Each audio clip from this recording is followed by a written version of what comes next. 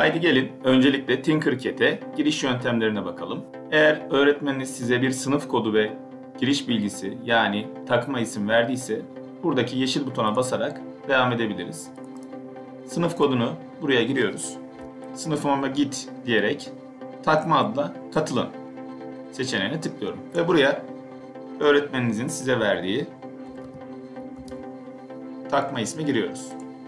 Şu anda Tinkercad'e giriş yaptık ve tasarım oluşturabiliriz. Kişisel hesabınızı oluşturmak için hemen katılın butonuna basabilirsiniz. Kişisel hesap oluştur diyerek sosyal medya hesaplarıyla giriş yapabilirsiniz veya bir e-posta adresiyle kayıt olabilirsiniz. Bu aşamaları geçtikten sonra sisteme giriş yapabilirsiniz. Var olan hesabımızla giriş yapmak için giriş yap düğmesine tıklıyoruz. Kişisel hesaplarla giriş yapacaksak buraya, sınıf koduyla giriş yapacaksak buraya tıklıyoruz. Ben kişisel hesaplara tıklıyorum ve Google hesabımla oturum açıyorum. Şu anda karşımızda Tinkercad'e giriş yapılmış bir sayfa var benim daha önce yaptığım tasarımlar burada gözüküyor. Buradan profil ayarlarımızı yapabiliriz. Tasarımlarımızı buradan yine ulaşabiliriz. Bildirimlerimiz. Çıkış yap diyerek sistemden çıkış yapabiliriz. Peki Tinkercad'i nasıl kullanacağız?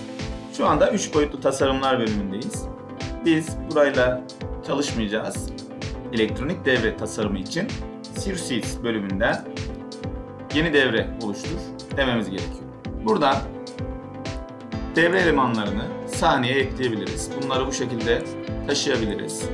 Arduino Uno'muzu ekledik. Yine bir adet led, bir adet direnç ekledim. Buradan istediğimiz devre elemanını oluşturacağımız devreye göre buradaki çalışma alanına ekleyebiliriz. Şurada devre elemanlarını seçtiğimiz zaman o devre elemanı ile ilgili bir özellik geliyor. Mesela şu anda direncimiz 1K ohm. Ben bunu 330 ohm yapmak istiyorum. Şuradan ohm'un birimini seçiyorum. Gördüğünüz gibi direncim 330 ohm'a geldi.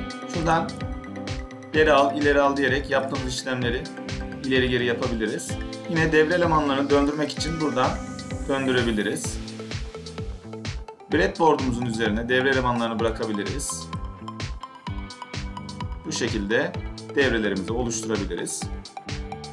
Çalışma alanındaki beyaz alandan bu şekilde devremizi kurduğumuz nesneleri hareket ettirebiliriz. Faremizin tekerleğiyle yakınlaştırma ve uzaklaştırma yapabiliriz.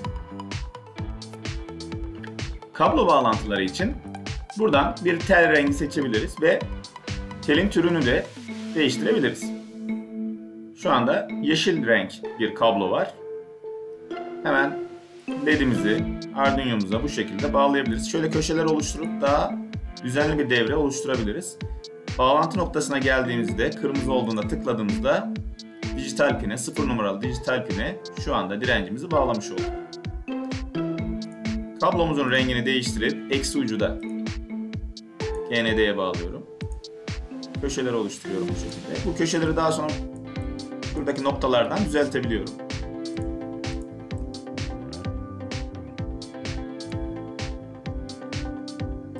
Şu anda tekrar yeşile getiriyorum. Bu şekilde kablo bağlantılarını da yapabiliriz.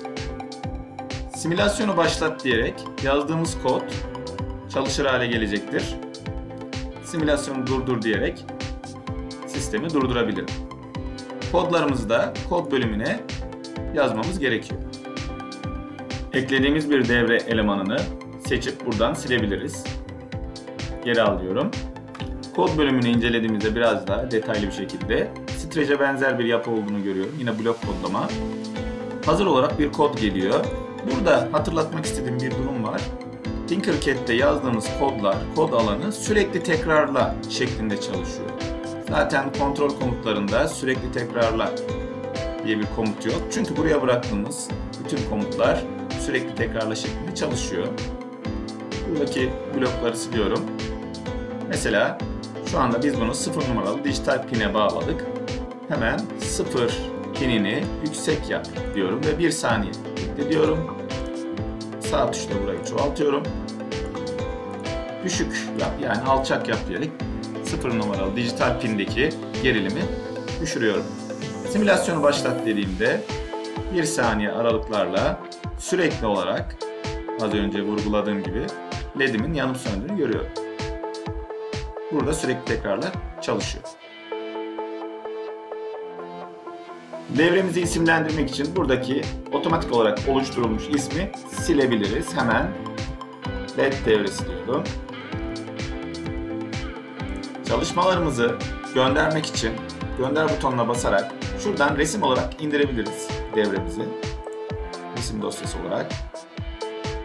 Yine gönder diyerek BRD dosyası, elektronik tasarım dosyaları olarak indirebiliriz. Şurada bir kişiyi davet ederek beraberce ortak bir devre çalışması yapabiliriz. Burada e, Autodesk Fusion 360 programında yani daha profesyonel bir devre tasarım programında devremizi geliştirebiliriz. Şu an için bizi bu kısım fazla ilgilendirmiyor. Öğretmenleriniz dersleriniz bölümünde sizlere etkinlikler oluşturabilir. Şu anda LED devresi etkinliğini görüyoruz. Kendi yaptığınız tasarımı bu etkinliğin içine etkilemek için Sirsius bölümüne ulaşıyoruz. Burada LED devresi tasarımındaki ayar bölümüne tıklıyorum. Sınıf etkinliğine ekle bölümünden LED devresini seçerek tasarımı ekle diyorum. Şu anda yaptığımız tasarım sizin öğretmeninizin oluşturduğu etkinliğin içine eklendi. Bu aşamada anlatacaklarımız bu kadar.